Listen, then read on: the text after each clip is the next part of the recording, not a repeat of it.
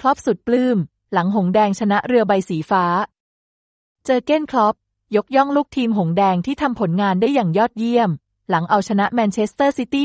1-0 ในเกมพรีเมียร์ลีกอังกฤษเมื่อคืนวันอาทิตย์ที่ผ่านมา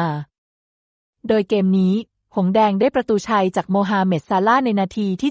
76 ทำให้ในนัดนี้ลิเวอร์พูลเก็บเพิ่มมี 13 คะแนนขึ้นมารั้งอันดับที่ 8 โดยยังตามหลังจ่าฝูงอาร์เซนอลอยู่ถึง 14 แต้ม คลอปได้กล่าวหลังเกมนี้ว่า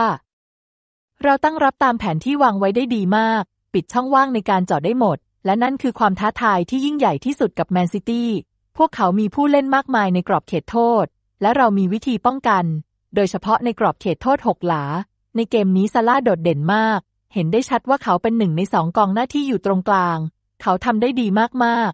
ๆอย่างไรก็ตามในเกมนี้ คลอปโดนใบแดงในนาทีที่ 86 หลังไปวอยวายที่ซาร่าไม่ได้ฟาวริมเส้น โดยเขายอมรับว่าเป็นความผิดที่เขาควรได้รับ เพราะเกี่ยวข้องกับอารมณ์ จังหวะนั้นว่าทำไมคุณไม่เป่าฟาว ผมแค่ต้องการคำอธิบาย